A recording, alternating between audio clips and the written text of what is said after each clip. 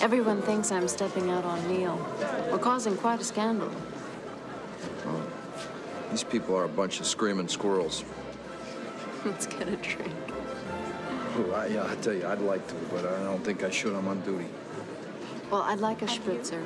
And couldn't you order something soft for yourself? Mm. I've got to go for a pee. I'll come with you. I think I can do that by myself.